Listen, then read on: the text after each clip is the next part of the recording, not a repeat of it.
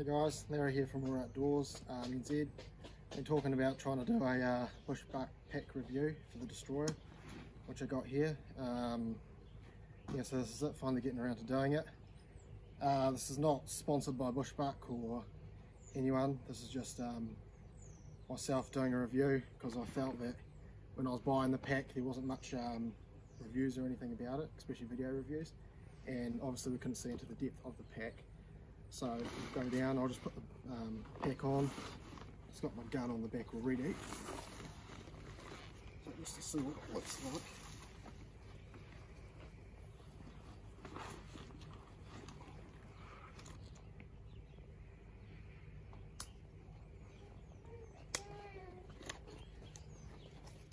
Um, so as you can see it's pretty basic how it tightens up and stuff.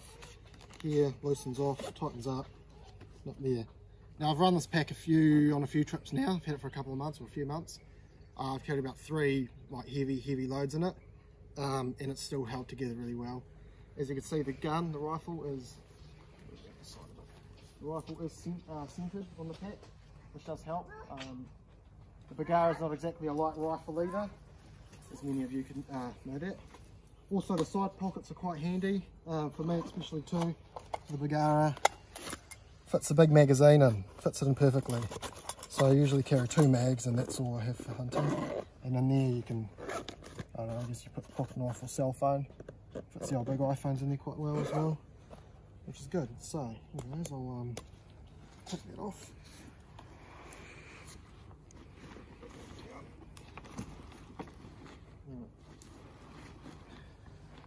Now the rifle just clips on obviously just over the main clips over the front here. Um, the other thing I do like about these, this bottom buttstock holder, I guess, is it clips over and it fits perfectly in the groove for my rifle, so again stops it from falling out.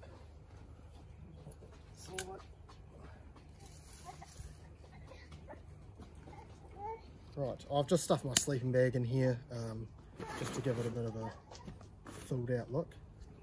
Yeah, so now do that. This just tucks away in here as they have it on the actual review themselves, the Bushbuck review. I'm pretty sure they show that in there. And it's just magnetic. So it sits in there quite nicely. Um, it does have a lot of straps on it. Um, I guess some people might not like the lots of straps and that hang, hanging off. But it also does help when you're putting stuff on and when you've actually got it completely filled out you can fill quite a bit of stuff in here, which is good, being a 90 litre pack, or 90 plus litre, litre pack. Yeah, so um, it's still a bit dirty from the last hunt. As you can see, it does get used. It's used quite well. Um, so that's just the top lid. I just, they have another wee cinch clip here, which I guess if you take the top lid off, you can just cinch it shut that way. Um, now, I've got these antlers here. I'll just show you how how handy the extra buckles and all of that are, so you don't actually need to carry rope or anything.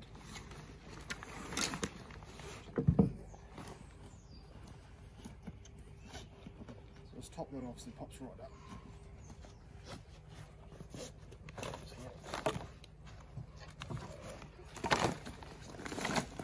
Exactly how I carry the overhead. That other weekend. So those pull right out, it's handy.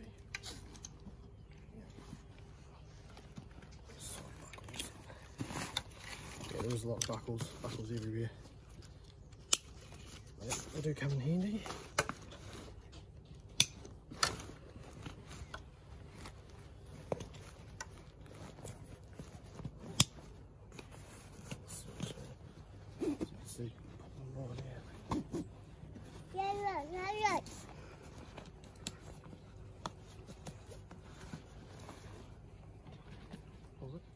Mm -hmm. Okay. So it's there, and it's just kind of loosely on there, but that's how I had the other head. And that's it, you just buckle it on, not need tying on or anything. That actually sits quite nicely, like so. And then, wee demonstration there.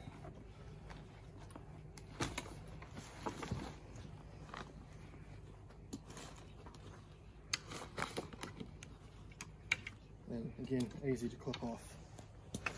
Clip it all off and she's straight off.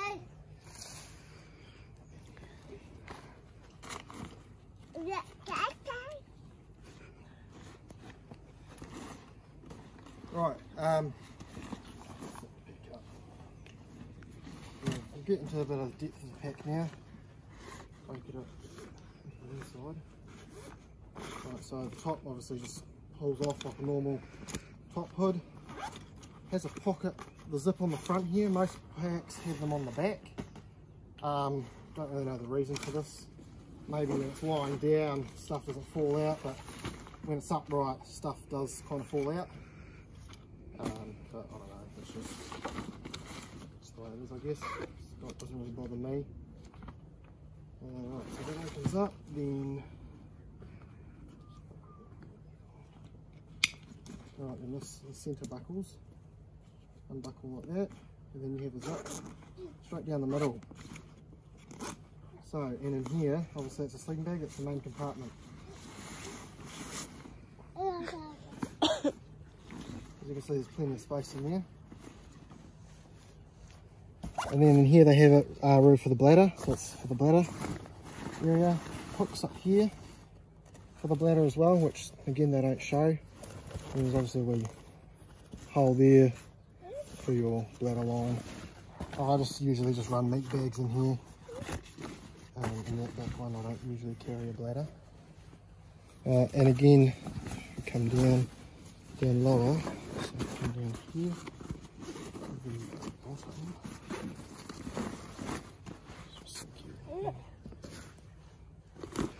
Now the bottom here zips out too, so you can drop the bottom out completely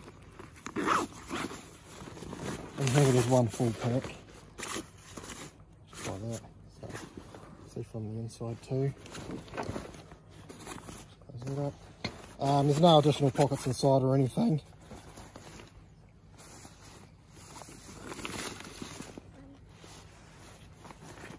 Yeah, okay, I'll zip that back up. Put that inside it.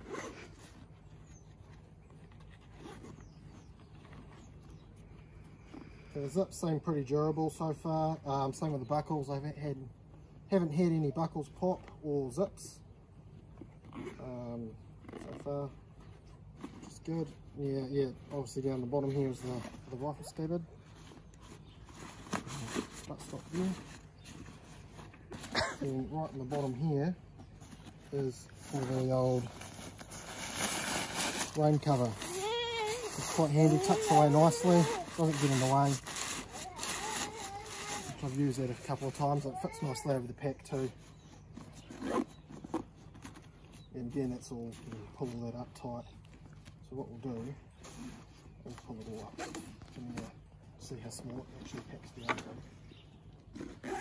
So two ways up is very handy as well. So if you've got something at the top, you can just run it up there or down the bottom, whatever suits.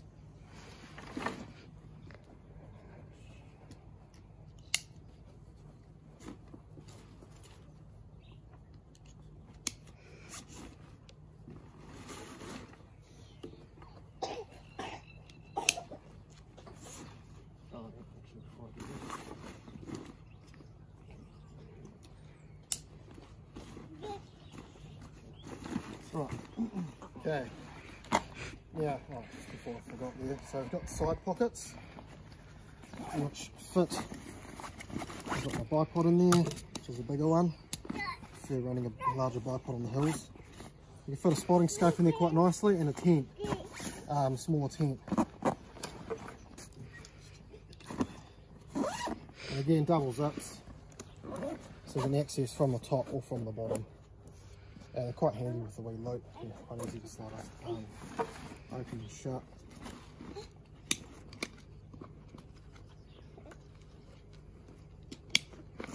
Now we've got a pocket on this side as well.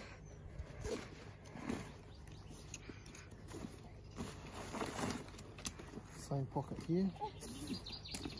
So carry a tripod. Usually um, I'll carry my bipod and tripod on one side and I have a spotter on the other, um, or a tent, or depending on whatever I carry in there. It's almost big enough for poles. I guess for a smaller tent, the poles will fit, fit in there, which is good. Right. Yeah, also from the top, we can access the main compartment.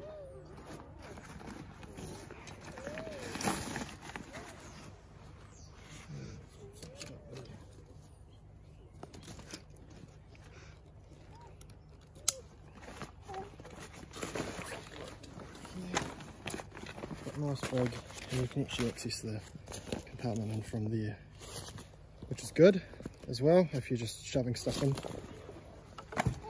And you can see how tall it actually comes up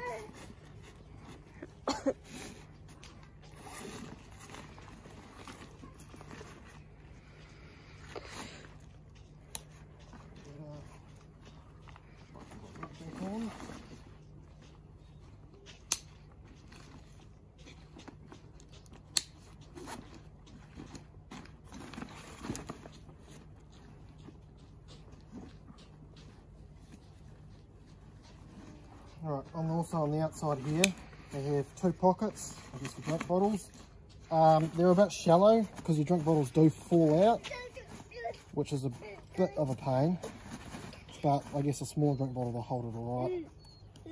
Um, or if you want weak clip, normally just clip it up onto the end that holds it. It's got them on both sides, again, which is quite handy. Um, now this pocket here, don't really have any idea what this pocket here is for. Um, yeah, I I did put the old ice axe through here, so it actually fit through that hole, came out and held it in that way, but I, I have no idea what that's for, to be honest. Um, yeah. So there. Again, it's easy, easily adjustable. Just un undo that and then slip it through and drop it up and down. As you can see, I've got it on quite a low setting. I don't have a very large back myself. Um, yeah, so that's it. Now we'll, go on to the meat shelf. And one of the reasons why I got this pack is for the actual meat shelf itself, by having an external meat shelf. Not many packs here in New Zealand have an external meat shelf or even are rated to carry meat. Because um, I did look at getting a Tatonka or a um, couple of other brands there, think Albastock and things like that, but they didn't have meat shelves and some, I think the old stock wasn't even rated to carry meat. So, you know, for me, I like to hunt and get meat. That's one of the main reasons. So, right, so this pack completely detaches from the frame itself. So you can actually pull it right out in the bottom. And it's fairly easy to do. So it pops right out from the frame. And your meat shelf is a separate shelf. So that comes off there. There. And you put your meat in there. Yeah, and the frame is fairly stiff. I feel like it could maybe be a little bit stiffer, just for those real heavy loads, but again, it's probably not rated to carry, you know, 100 plus pounds. But I have done that and it's held up. The meat shelf's quite good too, which is really good. So if you're, you know, if you're running a black bag or something, and, and it rips, you're not going to get meat or um, blood all through your um, gear. That's one of the reasons why I picked it. Now the other reason I picked this pack was it's quite a bit quieter than pretty much all the other packs on the market, or here in New Zealand anyways. So that was one of the main reasons. That and the meat shelf. Um, yeah, so I'll cinch it back up and make some tight think that just about does it. I think of um, So I guess you can clip the hood over.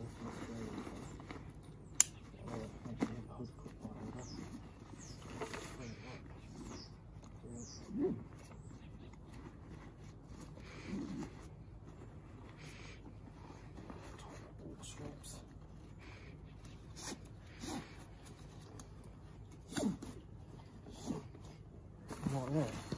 as you can see, it's not a very big pack.